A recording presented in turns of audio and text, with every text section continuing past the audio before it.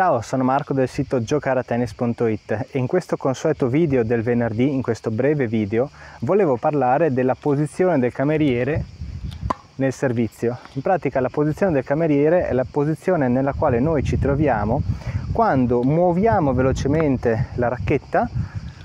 prima di andare a colpire la palla oppure quando siamo agli inizi nel momento in cui muoviamo prima la racchetta ci fermiamo qui e poi lanciamo la palla questa pausa qui dietro, che di solito avviene col palmo della mano rivolto verso l'alto, ci fa perdere velocità e fluidità del movimento. L'obiettivo è quello di prima lanciare la palla